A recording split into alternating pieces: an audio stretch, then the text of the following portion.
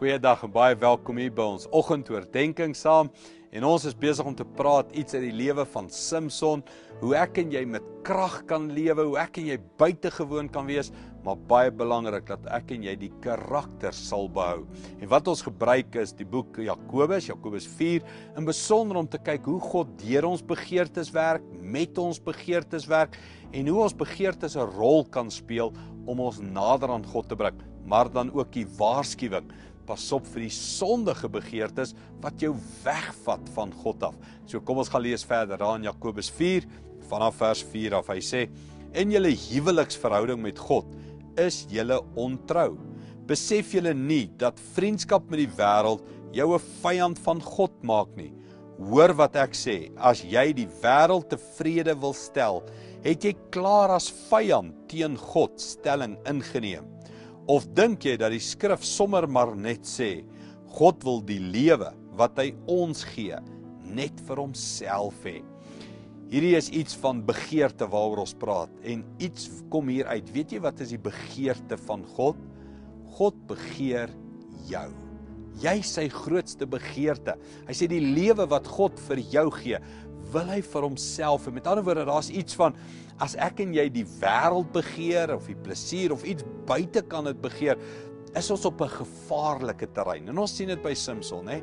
Samson het gesien en begering gevat en dit het sy lewe gekos.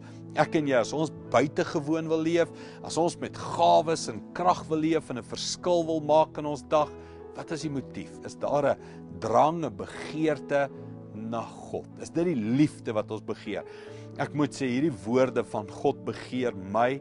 Dit doen iets aan my hart, nê. Nee. Dit dit bring 'n warmte in my hart van ek is in 'n huweliksverhouding met God. Ons ons dink aan Hosea. Ons het oor hom gepraat in die woestyn, die volk Israel in die woestyn. Hosea waar God in die woestyn sy liefde aan Hosea fluister of aan Israel fluister en sê ek wil jou net vir myself hê.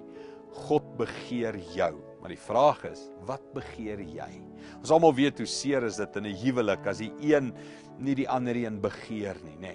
Hoe hoe seer is dit wanneer daar liefde gegee word, maar dit kom nie terug nie. En dis wat God sê, in in die oorwinning van jou begeertes en jou drange en die oorwinning van jou karakter lê hierdie kern. 'n fokus op die liefde van God wat my begeer. Hy het my eerste lief gehad en ek kan net ek kan net ontspan en terug lief hê. Ek kan net hom begeer.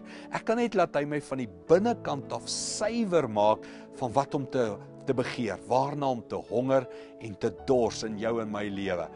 Kom ek en jy leef buitengewone lewens, maar die geheim is eintlik buitengewone liefde vir ons God. Kom ons bid dit saam. Hemelse Vader, dankie dat U my begeer. Dat U ons begeer. Dat U ons vir Uself wil hê en dat ons net van daai verhouding af kan begin leef.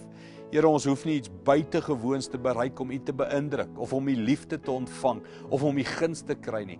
Here, ons kan juis buitengewoon leef omdat U ons eerste liefgehad het. Dankie dat U ons van die binnekant af verander vandag met U liefde in Jesus naam.